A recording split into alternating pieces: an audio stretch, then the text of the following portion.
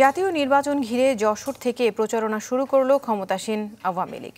জনসভায় দলীয় সভাপতি ও প্রধানমন্ত্রী উন্নয়নের স্বার্থে আবারও নৌকায় ভোট চাইলেন বলেছেন। হত্যা আর রক্ত ছাড়া বিএনপি মানুষকে কিছুই দিতে পারেনি। যশোর থেকে মিজানুর রহমানের ছবিতে আরও জানাচ্ছেন স্বপ্নীল শাহরিয়ার শিশির।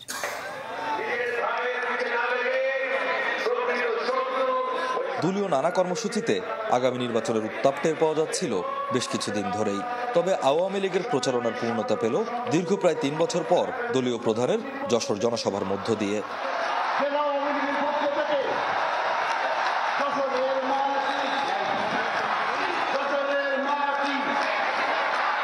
দুপুর আড়াইটার দিকে যশোরের শামসুল হুদা স্টেডিয়ামে পৌঁছালে মুহুর্মুহু করতালি আর স্লোগানে শেখ হাসিনাকে স্বাগত জানায় উপস্থিত জনতা। হাত নেড়ে অভিবাদনের জবাব দেন বঙ্গবন্ধু কন্যা। যশোর সহ দেশের আর্থসামাজিক ও অবকাঠামো খাতে উন্নয়নের চিত্র বক্তব্যে তুলে ধরেন সরকার প্রধান। বলেন, টানা ক্ষমতায় থাকার ফলেই অগ্রযাত্রা ধরে রাখা সম্ভব হচ্ছে। বিশ্বের অন্য দেশ যেখানে হিমশিম খাচ্ছে, নিজেরা অর্থনৈতিক মন্দায় ভুগছে, বাংলাদেশ এখনও যথেষ্ট শক্তিশালী আছে। প্রধানমন্ত্রী বলেন রিজার্ভ ও ব্যাংক নিয়ে মিথ্যা ছড়ানো হচ্ছে। অর্থনীতির অবস্থা নিয়ে আশ্বস্ত করেন জনগণকে। গুজব ছড়ানো নিয়ে কঠোর সমালোচনা করেন বিএনপির। কেউ কেউ রিজার্ভ নিয়ে কথা বলে রিজার্ভের কোনো সমস্যা নাই। অনেকে বলে ব্যাংকে টাকা নাই কেউ কেউ ব্যাংক থেকে টাকা তোলে। ব্যাংকে টাকা তুলে ঘরে রাখলে তো চোরে নিয়ে যাবে। চোরের জন্য সুযোগ করে দেওয়া। কিন্তু ব্যাংকে টাকা নিয়ে কথাটা মিথ্যা। গুজবে কখনো কান দেবেন না। কারণ যারা জানেন যে বিএনপির কাজই হচ্ছে সবসময় গুজব ছড়ানো। বারবার হত্যা চেষ্টার পরও জনগণের পাশে থাকার প্রত্যয়ের কথা জানান প্রধানমন্ত্রী। তার প্রশ্ন যে দলের নেতৃত্বে সাজাপ্রাপ্ত তারা দেশকে কি দেবে? আরে সাজাপ্রাপ্ত যে দলের নেতা সে দল জনগণকে কি দেবে বলেন? তারা কিছুই দিতে পারে না তারা শুধু মানুষের রক্ত চুষে খেতে পারে। এটাই হলো বাস্তবতা। খুন করা হত্যা করা অত্যাচার করা নির্যাতন করা জেল জুলুম মামলা দেওয়া এছাড়া তারা কিছুই দিতে পারে নাই। শেখ হাসিনা বলেন সরকার হিসেবে সম্ভাব্য সবকিছুই করেছে আওয়ামী লীগ। আগামী নির্বাচনে তাই নৌকাতেই ভরসা রাখার আহ্বান তার। আগামী নির্বাচনে আমি আপনাদের কাছে ওয়াদা চাই যে আগামী নির্বাচনেও আপনারা নৌকা মার্কায় ভোট দিয়ে আওয়ামী লীগকে আপনাদের সেবা করার সুযোগ দেবেন কিনা আমরা হাত তুলে ওয়াদা করেন। দ্বাদশ জাতীয় সংসদ নির্বাচনের এক বছরের মতো বাকি থাকতে যশোরে প্রধানমন্ত্রীর এই জনসভা। আনুষ্ঠানিকভাবে বলা না হলেও অনেকেই একে নির্বাচনের প্রচারের শুরু বলে মনে করছেন। আওয়ামী লীগ সভাপতি যেমন বিগত দিনের প্রতিশ্রুতির বাস্তবায়নের কথা স্মরণ করিয়ে দিলেন, তেমনি বললেন দেশকে নিয়ে তার আগামীর লক্ষ্যের কথা। Swapnil Shahriar Shishir, channel twenty four, Jessore. একদিনের জন্য উচ্ছ্বাসে মেতেছিলেন যশোরবাসী। দীর্ঘদিন পর আওয়ামী লীগ সভাপতিকে কাছে পেয়ে উদ্বেলিত স্থানীয় নেতাকর্মীরা। দূর দূরান্ত থেকে দীর্ঘ পথ পাড়ি দিয়ে যোগ দেন জনসভায়। গণতন্ত্র বাঁচাতে ডিসেম্বরে সব নেতাকর্মীকে প্রস্তুত থাকার আহ্বান জানান আওয়ামী লীগ সাধারণ সম্পাদক। রং বেরঙের পোশাকে রাজপথে নেতাকর্মীদের উচ্ছ্বাস। দূর দূরান্ত থেকে ঢাক ঢোল বাজিয়ে যোগ দেন জনসভায়। প্রধানমন্ত্রীকে এক নজর দেখতে খুলনা থেকে সাইকেল চালিয়ে আসেন দিনমজুর হেলাল ব্যাপারী। আর মাগুরা থেকে বাউল শিল্পী শহরালি ছুটে এসেছেন মোটর সাইকেলকে নৌকা বানিয়ে। মাকে জনদরদিকে ভালোবাসি তাই তার যেখানে এই মিটিং মিছিল যেখানে তার সম্মিলন হয় সেখানে আমি ছুটে যাই।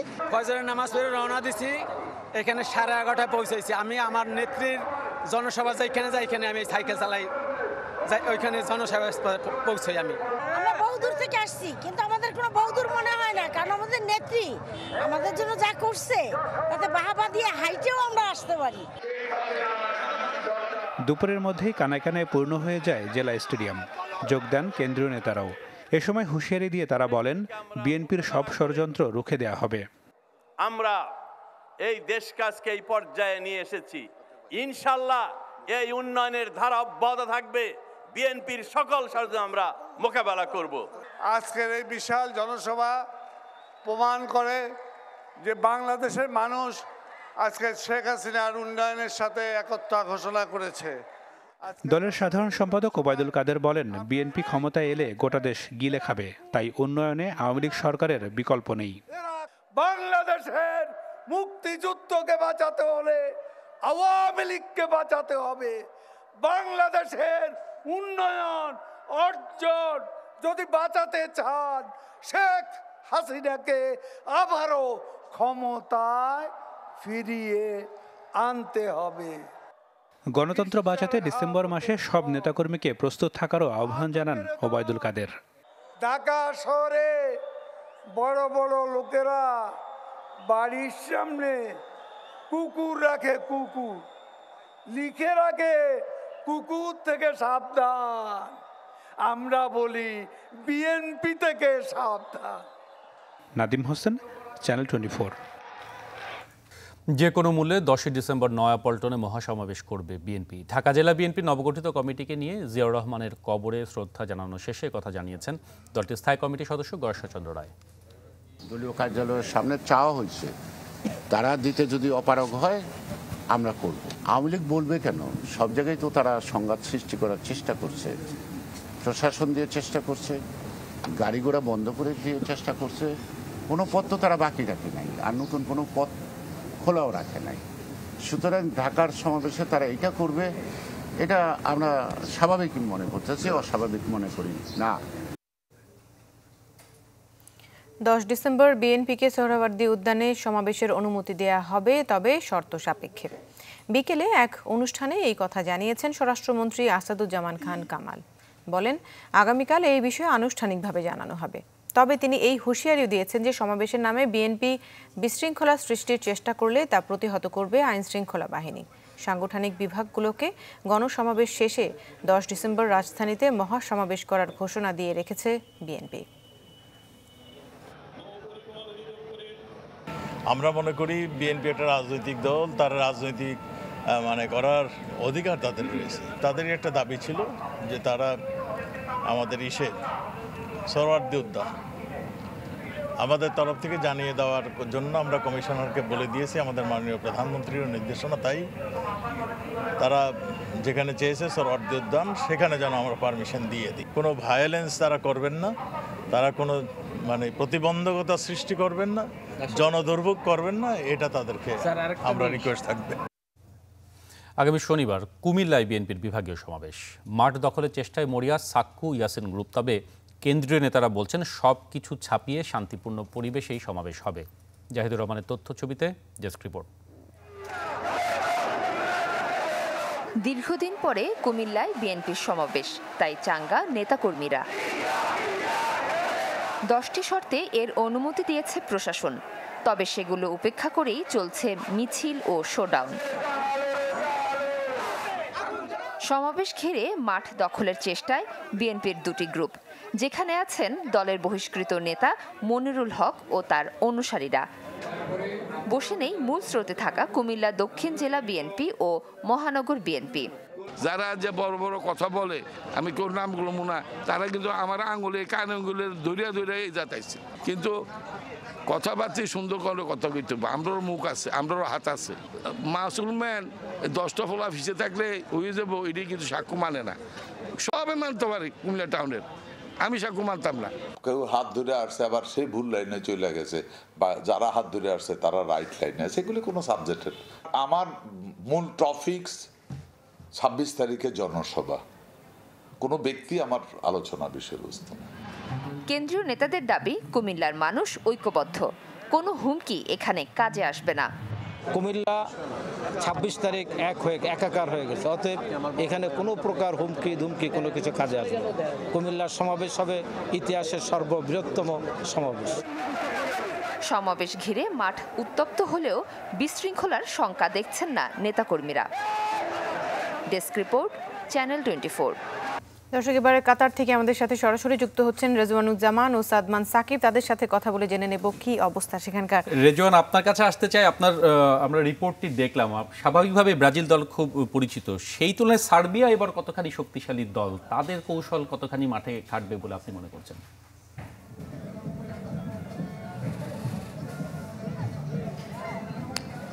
শোভন, শুনতে পাচ্ছি না ঠিক আমি, যদিও এখানে আসলে প্রচুর মানুষের ভিড়, জানি না, নিশ্চয়ই আপনি শেষ মুহূর্তের অবস্থা জানতে চাচ্ছেন লুজাইল স্টেডিয়ামের, আমরা যেখানে দাঁড়িয়ে আছি সেখানে, কিন্তু আসলে আমাদের পিছে যদি দেখেন জনস্রোত, আসলে প্রতি মুহূর্তে শত শত হাজার হাজার মানুষ কিন্তু আসছে, এবং সবচেয়ে লাস্ট কিন্তু আসলে ব্রাজিলের সমর্থকই সেখানে বেশি, সার্বিয়ার সমর্থক খুব একটা খুঁজে পাওয়া যাচ্ছে না কিন্তু। আমি মনে হয় একজন, দুজন দেখেছি, কিন্তু সেটা এখানে দেখা যায় না বললেই চলে। আহ, ব্রাজিল সমর্থকদের ক্ষেত্রে একটা জিনিস আমার মানে মনে হচ্ছে সেটা হচ্ছে আর্জেন্টাইন ফ্যানরা আর্জেন্টিনা থেকে এসেছে কিন্তু ব্রাজিলের ফ্যানরা আসলে মনে হচ্ছে যে সব দেশ থেকেই এসেছে। মানে সব দেশ বলতে হচ্ছে ভিনদেশি সমর্থক তাদের বেশি। ব্রাজিলের সমর্থকও আছে ব্রাজিল থেকেও এসছে। সংখ্যাটা আর্জেন্টিনার বেশি না ব্রাজিলের বেশি সে নিয়ে তর্ক হতে পারে। কিন্তু সেটা এখনও সিদ্ধান্তে উপনীত হওয়া যাবে না কিন্তু ফিফা বলছে যে এবারের ওয়ার্ল্ড কাপ এখন পর্যন্ত সবচেয়ে বেশি মানুষ দেখছে আগের সব আগের সব ওয়ার্ল্ড কাপের চেয়ে এবং সবচেয়ে বেশি দর্শক এখন পর্যন্ত হয়েছে ফ্রান্সের ম্যাচে। ফ্রান্স যে ম্যাচে খেলেছে অস্ট্রেলিয়ার সঙ্গে সেই ম্যাচে কিন্তু সবচেয়ে বেশি দর্শক এখন পর্যন্ত বলা হচ্ছে ওয়ার্ল্ড ওয়াইড ভিউয়ার টিভি ভিউয়ারশিপের কথা। আর যদি আমরা আজকের ম্যাচের দিকে একটু তাকাই ব্রাজিল সার্বিয়া ম্যাচে ফেভারিট কে? ব্রাজিল। এরকম এরকম ফেভারিট কিন্তু আমরা জার্মানি এবং জাপান ম্যাচেও গতকাল দেখেছিলাম। যে আমি দেখেছিলাম যে এইটটি এইট পার্সেন্ট চান্স হলো জার্মানির টু পার্সেন্ট ছিল জাপানের। 99 1% ছিল একটা সময়। ছিল কিন্তু শেষ পর্যন্ত কিন্তু জার্মানি হেরে গেছে জাপান জিতেছে। সুতরাং আসলে বাজির দর কিংবা প্রেডিকশন কিংবা আসলে এই সব হিসাব পরিসংখ্যান কিন্তু খুব একটা বলে না সঠিক কথা সব সময় সাদমান সাদমানের কাছে একটু জানতে চাই। সাদমান নিশ্চয়ই শুনতে পাচ্ছেন? আপনি আমাকে শুনতে পাচ্ছেন কি? আহ,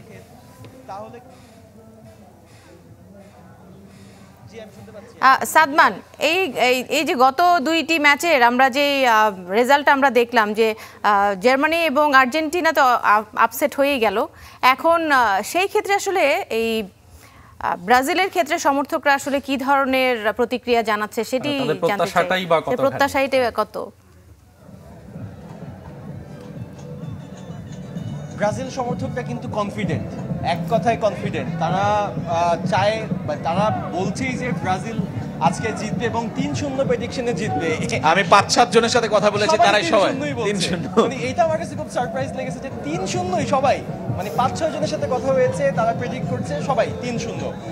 সমর্থকদের মধ্যে কিন্তু তারা আমরা এই আর্জেন্টিন ফ্যানরা যখন আসছি তারাও অনেক কনফিডেন্ট ছিল তারাও তিন চার শূন্য তিন শূন্য বলেছিল কিন্তু দিন শেষে কিন্তু ফুটবল ফুটবলই। ফুটবলের জায়গায় কিন্তু আপনি প্রেডিক্ট করে সবসময় ঠিক হবে সেটাও কিন্তু না। আর সার্বিয়া দল কিন্তু খুব ডিফেন্সিভ ওয়েতে খেলে তো সেই জায়গা থেকে গোল বের করা যে খুব সহজ হবে আর কি সবচেয়ে বড় কথা আসলে সময় বলে দেবে কি হবে বাংলাদেশ কিছুক্ষণের আসলে অপেক্ষা অপেক্ষার প্রহরটা শেষ হয়ে গেলে আসলে বুঝতে পারব। আহ, রেজওয়ান সাদমান দুজনকে অনেক ধন্যবাদ আমাদের সাথে যোগ দেওয়ার জন্য। আমরা অবশ্যই আপনাদের সাথে যোগাযোগ করব কিছুক্ষণের পরেই।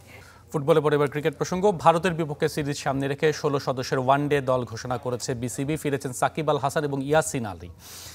বাদ পড়েছেন মোসাদেক হোসেন, শরীফুল ইসলাম এবং সৌম্য সরকার। দলের বাকি সদস্যরা হলেন অধিনায়ক তামিম ইকবাল, লিটন দাস, এনামুল হক, মুশফিকুর রহিম, মাহমুদুল্লাহ রিয়াদ, আফিফ হোসেন, মেহেদি হাসান মিরাজ, মোস্তাফিজুর রহমান, তাসকিন আহমেদ, হাসান মাহমুদ, এবাদত হোসেন নাজুম আহমেদ, নাজমুল হোসেন শান্ত এবং নুরুল হাসান সোহান। চারই ডিসেম্বর তিন ম্যাচ সিরিজের প্রথম ওয়ানডে অনুষ্ঠিত হবে। রাজধানীর উত্তরা থেকে বনানী আসতে ষাট ঘণ্টার জন্য মহাসড়কের লেন কমছে অর্ধেক। উন্নয়ন কাজের জন্য এই সময়ে চার লেনের দুটি বন্ধ থাকবে। এই ষাট ঘণ্টা যানজট এড়াতে বিকল্প পথ ব্যবহারের অনুরোধ করেছে কর্তৃপক্ষ। তবে বিকল্প সড়ক কোনটি তা জানেন না এই রুটের যাত্রীরা। রাজধানীর বিমানবন্দর এলাকা। সাপ্তাহিক কর্মদিবস কিংবা ছুটির দিন বলা কঠিন। কোন দিন যানজট মুক্ত থাকে এই মহাসড়ক? সম্প্রতি সেই মাত্রা বেড়েছে বহু গুণে মানুষের যে সীমাহীন দুর্ভোগ তা বোঝা যায় সামাজিক যোগাযোগ মাধ্যমে ভুক্তভোগীদের এমন পোস্টে। উত্তরা আজিমপুর বা টঙ্গি যেতে যে জায়গায় দশ মিনিট লাগতো এখন দুই থেকে আড়াই ঘণ্টা লাগে। অনেক বেশি জ্যাম যেগুলো আমাদের মাঝে মাঝে সব লোকজন আমরা হেঁটেও যাই এমন এমন সময় আছে। অনেক দুর্ভোগ পোহাতে হচ্ছে এখানে কাজ হচ্ছে এই কারণে। এয়ারপোর্টে যাত্রীগুলো খুব ভোগান্তিতে আছে এর জন্য। যাই হোক, আশা করি হয়তো এই কাজ শেষে এরকম যানজট থাকবে না। এর মাঝেই বুধবার বিআরটি এর বিজ্ঞপ্তি। যান চলাচল স্থায়ীভাবে নির্বিঘ্ন করতে ঢাকা বিমানবন্দর স্টেশন এলাকায় চব্বিশ নভেম্বর সন্ধ্যা ছয়টা থেকে সাতাশ নভেম্বর সকাল ছয়টা পর্যন্ত বিশেষ ব্যবস্থাপনায় সড়কের উন্নয়ন কাজ হবে।